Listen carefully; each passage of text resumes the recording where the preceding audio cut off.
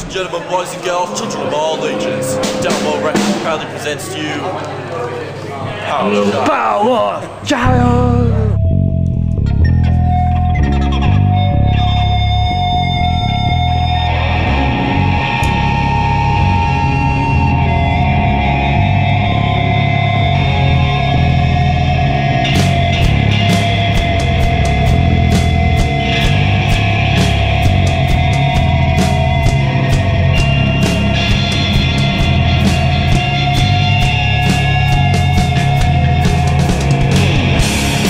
Were riding a huge and incredible wave, and it's simple science that the biggest waves crash the hardest. What instrument do you play in Power Child? Drums. What instrument Drums. do you play? Drums. Nighty, tell us about Power Child. We're fucking sick. What do you play? Guitar. Oh, It started good, but it ended very badly. From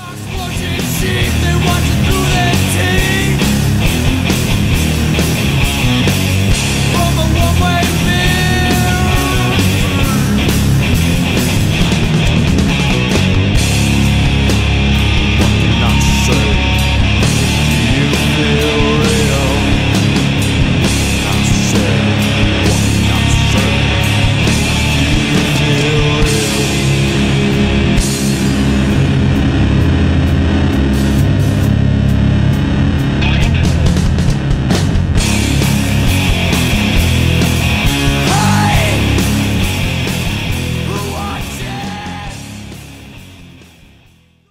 Brendan Fisher and James Woodbury were in a group called Musical Revolution. Some of those who work towards this are the same that brought crosses. Some of those who work towards this are the same that brought crosses. James was the singer, Brendan was the drummer.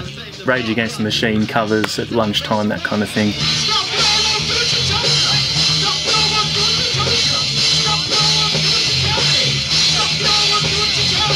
And I saw them, I saw Brendan drums, and I, th- I thought, that guy is not a drummer. So I, I thought, start a band. Brendan on guitar, me drum, James sing. We practiced a couple of times here and there, and the music teacher comes in and says, Scientists of Modern Music are playing a huge show the City Hall. There's going to be 1,500 people there.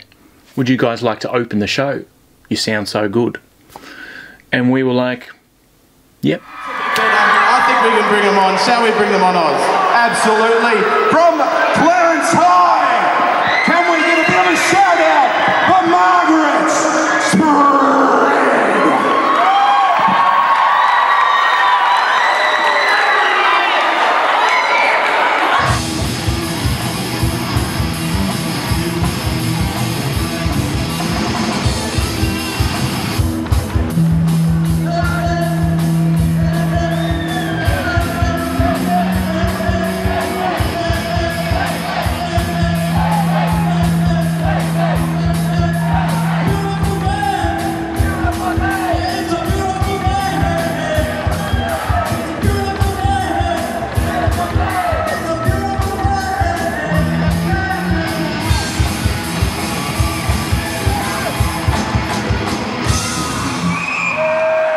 The funny thing about that gig actually is the guitarist Brendan got kicked out almost as soon as we finished playing uh, because he was found with a goon bag and uh, kicked straight out for having that.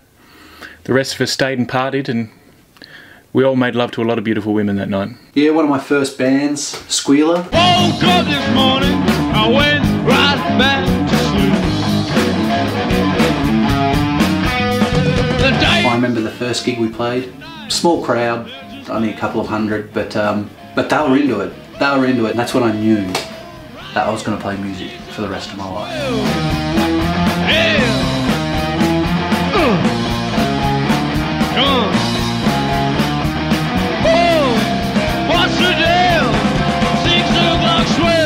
And so my first time playing in front of people would have been Sorell Palooza 2007.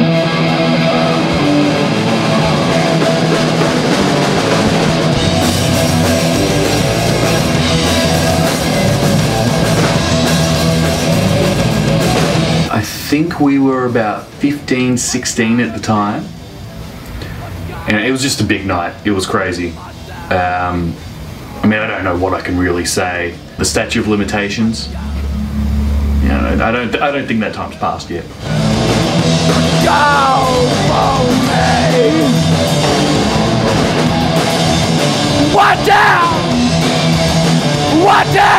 I thought, geez, these things were cool.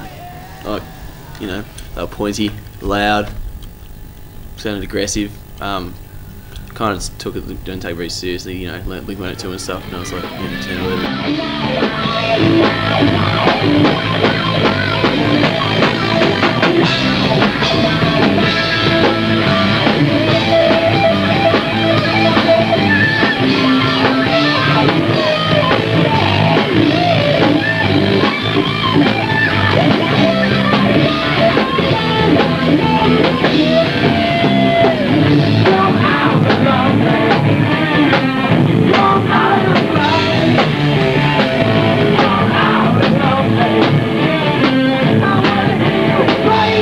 Stroke of Ace were huge.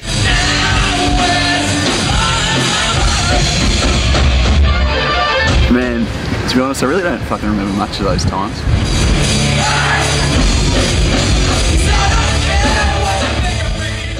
Me and um, Davo, the drummer, had been friends for for quite some time, and we thought, let's have a jam. Why not two musicians working together? Just rocked out. Adam and uh, Alex Maloney were pissed off because we had a grunge list Tasmania. So they thought, oh, we're going to make a grunge band. Then we thought, hey, they'll get me to play guitar. So I was like, yeah, I'll play guitar. Then uh, I believe we all met Spiro, the singer and guitarist, uh, at a party, and um, we just we just kind of clicked.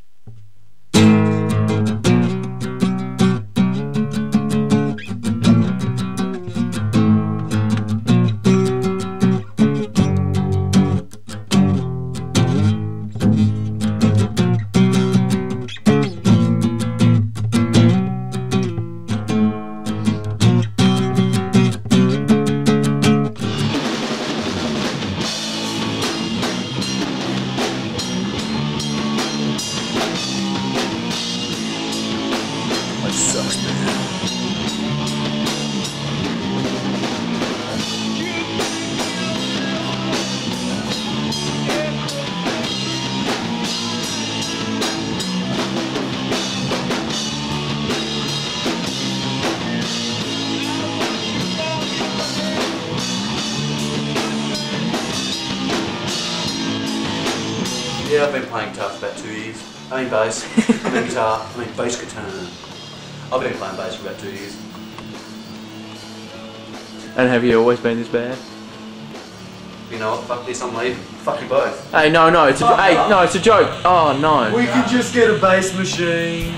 We got our first show because uh, another band that was playing actually dropped out. Oh, They super. were, they were friends with us, so we kind of did a bit of swappies and uh, call it swappies for short. Oh. And um, and we and we played. So you guys playing now or what? Yeah. But no one's in yet.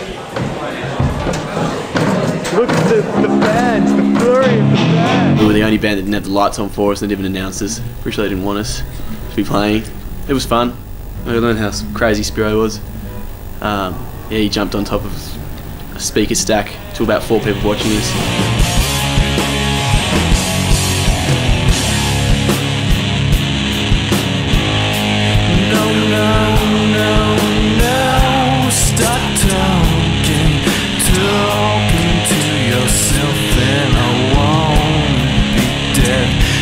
Singer's guitar, Spiro, his uh, his guitar broke.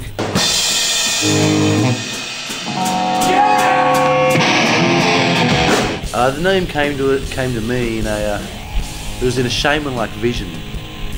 You see, uh, we're all we're all oh, we're all in our own houses, and uh, just, we each had our mobiles on a speed dial, and it just it just came to me in a vision. And I thought, Power Child, that's I could see it up in lights. So I um sent them all a sent them all a text in. Uh, they just agreed. They said it's perfect. I'm pretty pretty sure he did not give us an option. It was just Power Child, and I think it came from um, Outshine by Soundgarden. We went into the studio with Trenton Smith. He mixed it. We put it up on MySpace. Instantly, thousands of listens. The next gig after that, Rosny Stock. It was a small, small little show before we started playing it, and thousands, thousands turned up to witness, to witness uh, Power Child. A great track there, and you, that one's one of the ones I thought, you know, you could definitely hear the Soundgarden influence coming through there. Yeah. Um, more so than in the next song. But um, who was it that um, wrote that previous one, Big Sky? Um, I did. I was sitting in my undies on my bedroom floor with an acoustic guitar, and I kind of just came up with it. Yeah. Yeah. So just one of those random kind of things. Yeah, definitely. Um, the next song is called Heat, but we better give you a quick warning because there's some coarse language in here.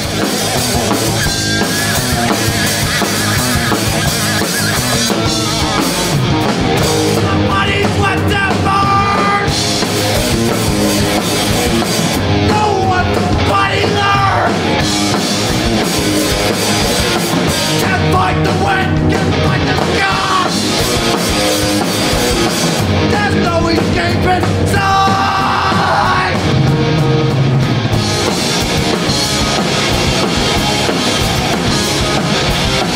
It's too fucking hard.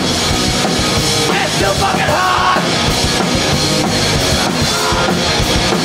It's too fucking hard.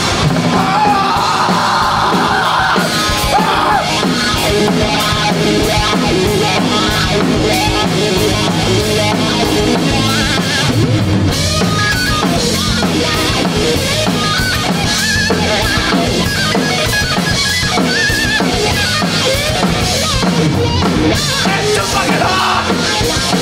It's too fucking hard. It's too fucking hard. It's too fucking.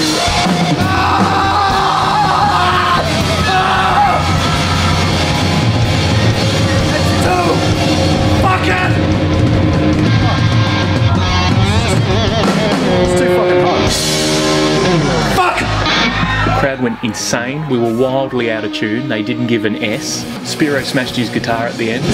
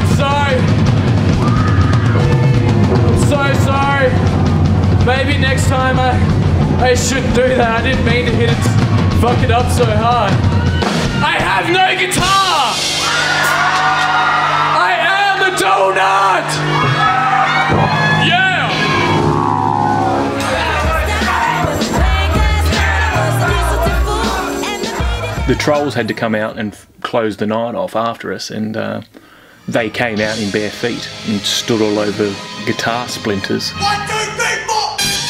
And they were not happy.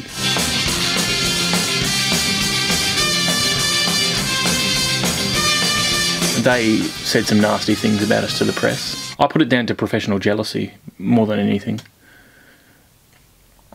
I don't fucking remember that at all.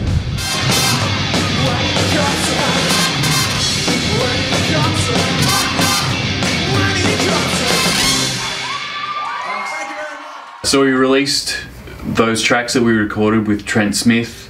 Um, I think we put out a thousand, sold out. We did another second run of a thousand, sold out within a week. We did another two thousand, that sold out. It was just impossible to get in stores. Impossible. I'd recorded the year before with Margaret Spread uh, at this little home recording studio that this accountant named uh, Anthony Rochester had set up. It was called the Winter Palace. And Anthony uh, and the Winter Palace, they were offering this new, new event, sort of live event thing, live at the Winter Palace.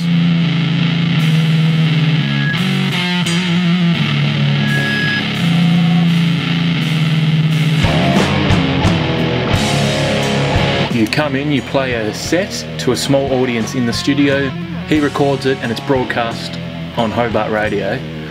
And we thought that's a great idea. And we actually got named um, in many lists of the best gig of the year. Unfortunately, it was really out of tune, but that was our way. People didn't seem to mind.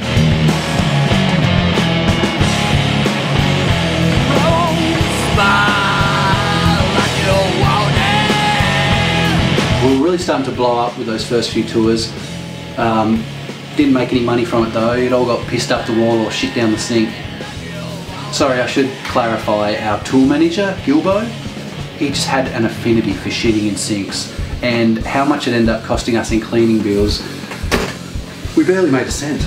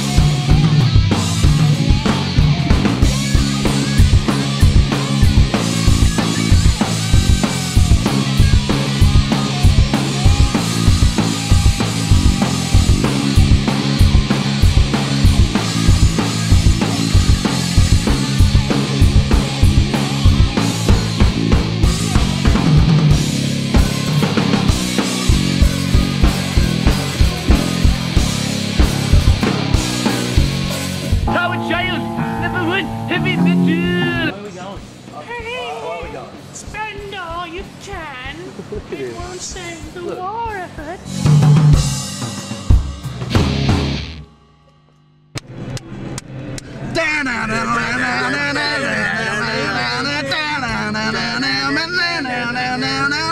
So you think you can stop me and spin my eyes? Da, da, da, da. So you think you can lift me and leave me to die? Whoa, baby!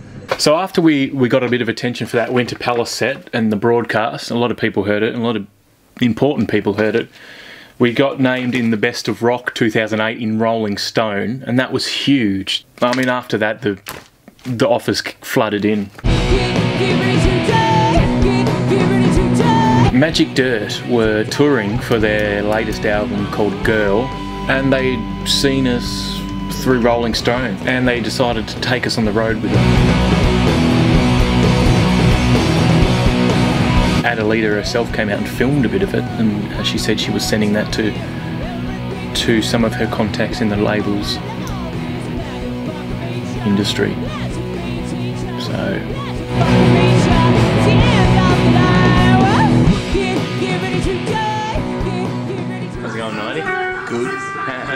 how you feeling before the magic gig? Hey? Um, hungry. How you feeling before the magic gig? A little nervous. a Bit nervy? A little bit sick. Why? Just touched it. Just touched it. Touched it.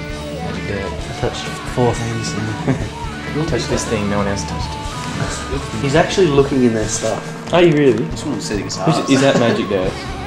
This is pretty sad. Let's get out of here before we get charged for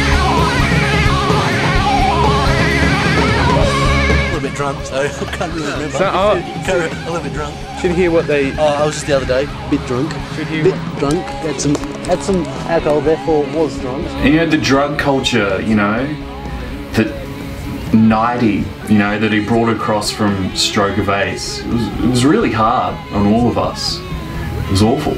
You could see from our skin that we would we were taking lots of heroin. That's why we got fat and pimply. That's what happens when you constantly inject needle. Yeah, things were wild back in the days. We used to party very hard, too hard, I'd say. That's when we started to get a bad reputation for being too awesome and rock and roll. Man, fuck. I don't remember much of that, hey? Yeah, not sure. And then Jimi Hendrix was like, I don't even play my, I play with my fucking yeah. mind. Dude, No, this is Jimi Hendrix. Like, We have to watch some Hendrix. And he just like whacks it with his elbow, going. No, no, no, no, no, I fucking hate my hands. I hate my hands. We have Hendrix DVD.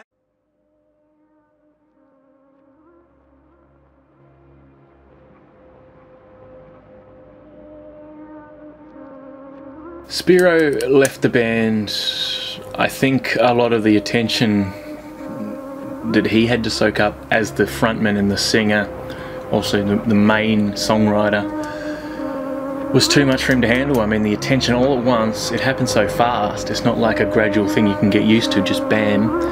And I think that um, that all got to him and he, he had to leave. You know, it was it was hard. Um, you know, that sort of attention that being in that sort of a band brings you. I couldn't even leave a a Coke bottle somewhere without some hot chick trying to drink the backwash. It was horrible. It was awful. Yeah, my memory, I can't remember that. Must have been maggot from injecting.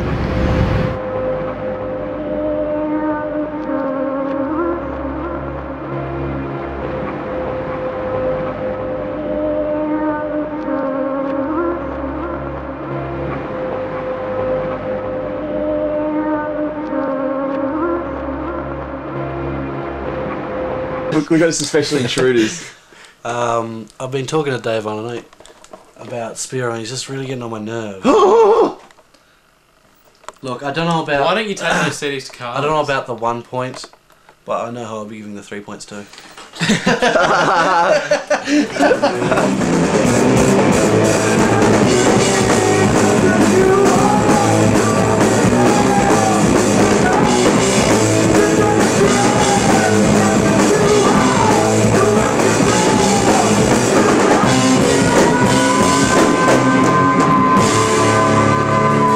had those gigs coming up with the fumes, the opening slots. So we had to get someone, we had to get them fast. So Sterling, we knew him through a friendship with another local band, High Break. Now High Break hadn't had the kind of success that we'd had, so once we asked him to come aboard our ship, he didn't hesitate to say yes. I mean, that was a huge step up for him. And um, we brought along Tim from High Break. It was sort of a double package deal.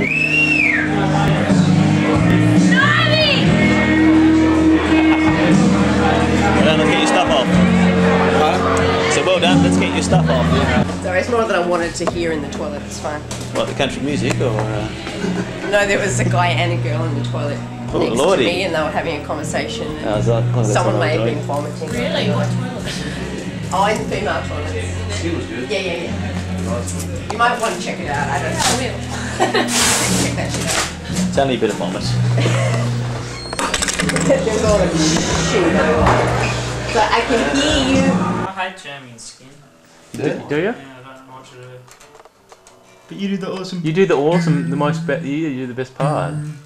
Doom, doom. I mean, it goes for ages, you fuck. Yesterday it went for. That's what it's supposed to. be. Yeah, it's meant to go for ages. It's called jamming, mate. Get used to it. Didn't you do it? Didn't you jam in high break? No.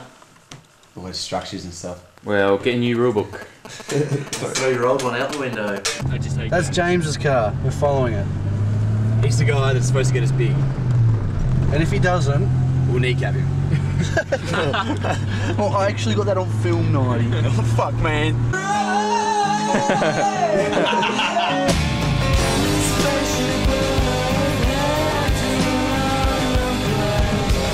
we went into a, um, a, a studio in Launceston, which was just, it was basically, it was a guy's house.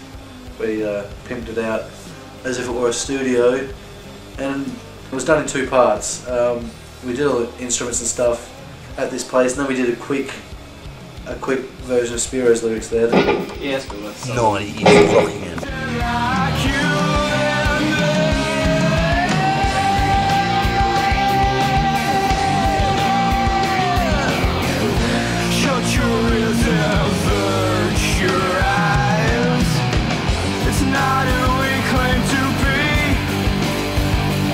Be. When Spiro left the band, they got the studio moved to Devonport, and um, we got Sterlo, so we took Sterlo up to the studio in Devonport just recently.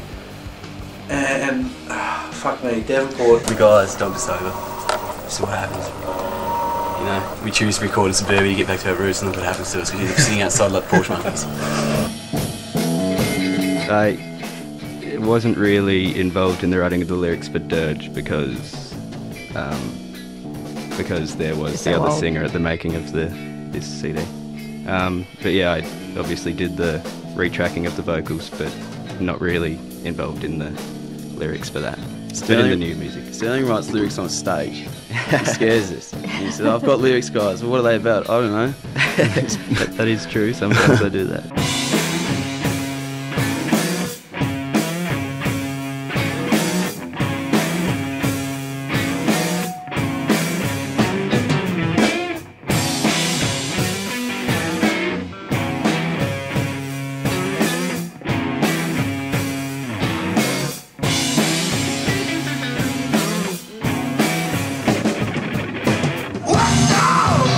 Put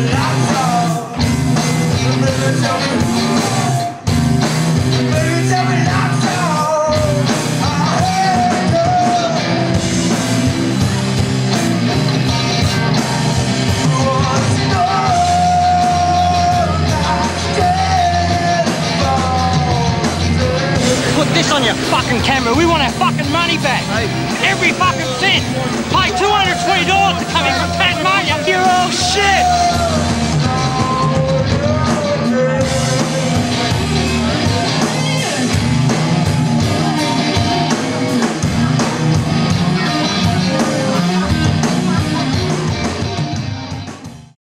relationships between the members of the band were not going too well. Um, at one point, for instance, Ben Knight broke Alex Maloney's leg in a bar fight when they were injecting.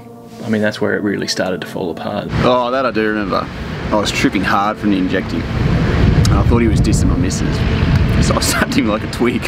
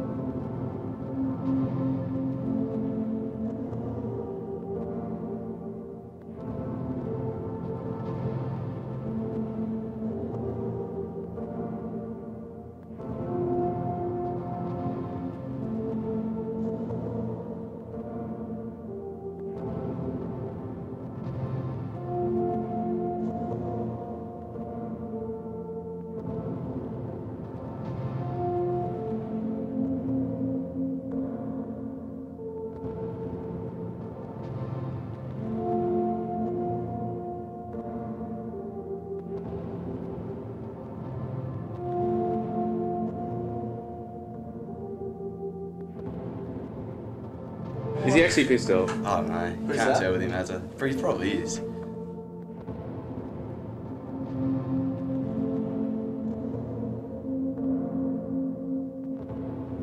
I remember vividly a turning point in my life where I woke up one morning absolutely strung out, had needles hanging out my arm, toilet paper hanging out the sink, and I um, I approached the mirror and I looked and I said, Alex, you are not a man, you are an ape.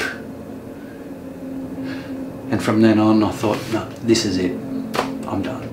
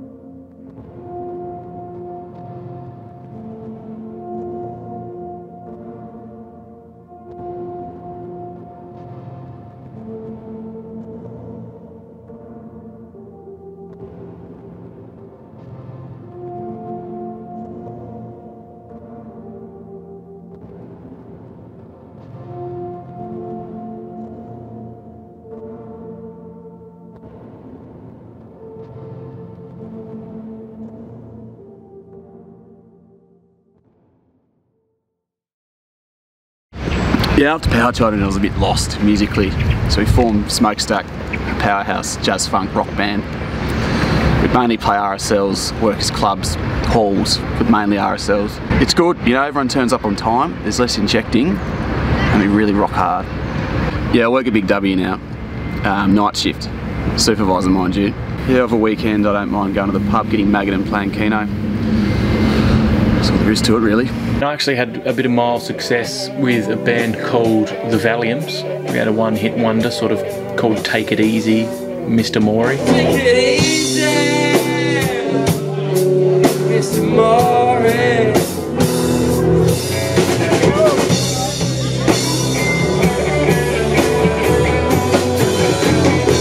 And that was about it for me musically.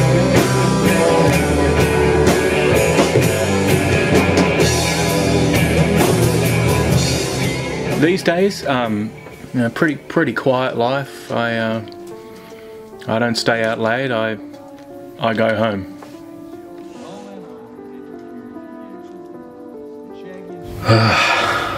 I'm about the same. Work, go home, no girlfriend.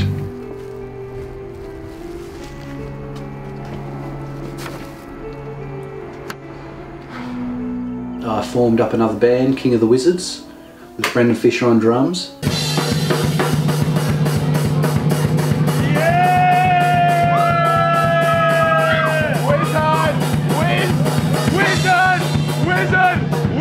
Thought we'd try something new, something different.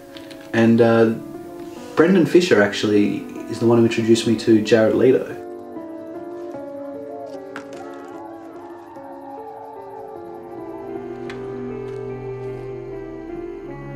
It's not a cult. That's what everybody thinks, but it's not. This is Jared Leto in 30 Seconds to Mars. They have a commune. We all go there, we wear white, and Jared Leto gets to fuck whoever he wants, but we're all in on it. And is that a picture of him behind you there? Oh, yeah. It's just a shrine.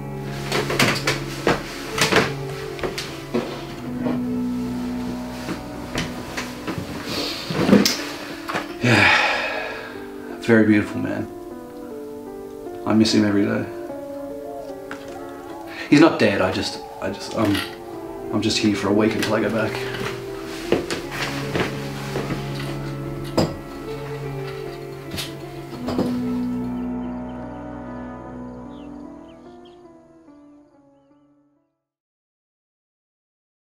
What do I think of the uh, grunge revival?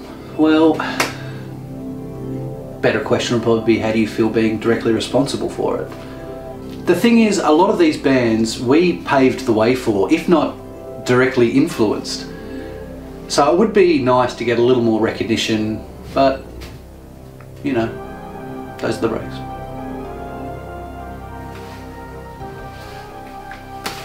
What's it like being Power Child? Um, it's very powerful. It powers me. What kind of music do you play? Soundgarden. Grunge rip-off.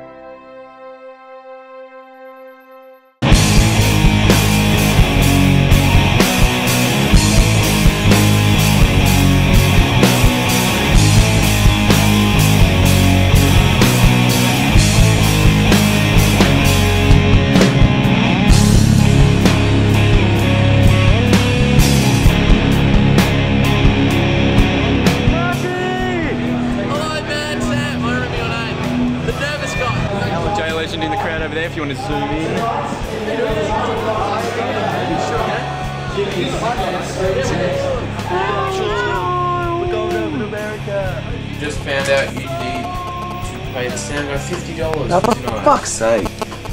Why did they tell? Why did they just tell tell us? I haven't got, honestly haven't got any money. I don't have any money. I'll I'm just pay. like- Make Just the right nice. songs, Look at him. Look at this. Well, clean and then grungy. He's all about the image. Is that a midget or a little girl? Did you get that on camera? Yeah, it's a midget.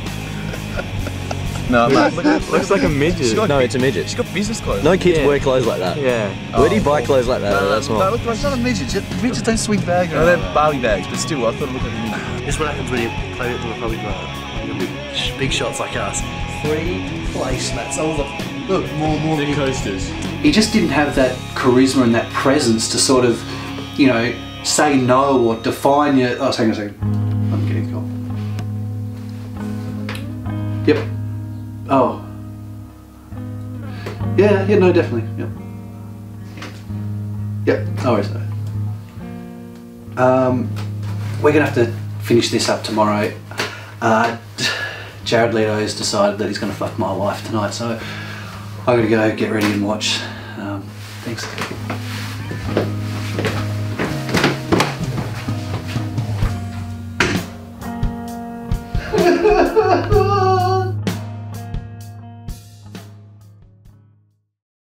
Um, D4 Don